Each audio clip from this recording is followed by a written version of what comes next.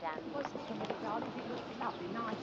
I mean, you know, if I speak as well, there's Tannery can afford it. I'm sure he's a nice gentleman. You can have it on your own if you don't like him, love. I mean, you got film in that camera? Hey? You loaded? Yeah. Oh, good. Oh, good morning to you. Nice to see you, Madam.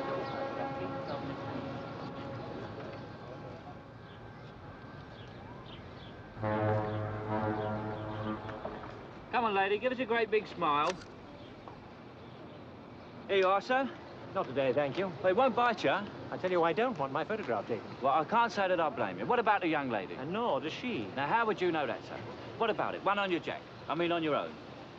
All right, I think I will. Vacationing? No, Immigrant? in a way. Married?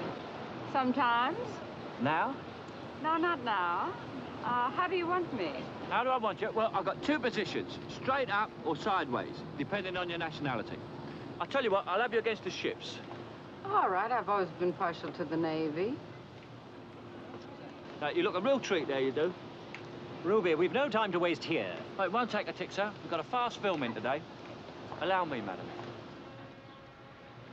He's getting a bit choked up, isn't he? Well, don't let it worry you. Oh, it doesn't worry me. It doesn't seem to worry you either.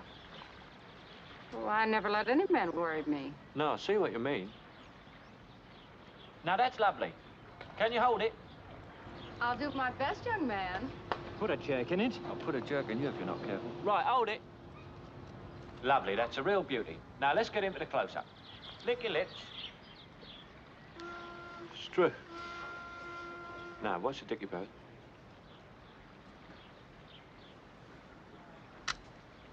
Now, what's your address? And your telephone number. That's uh, three of each, be 15 shillings, sir. Uh, haven't you got any change? No, I haven't. Now I'll have to go and look for some. Keep the bloody change.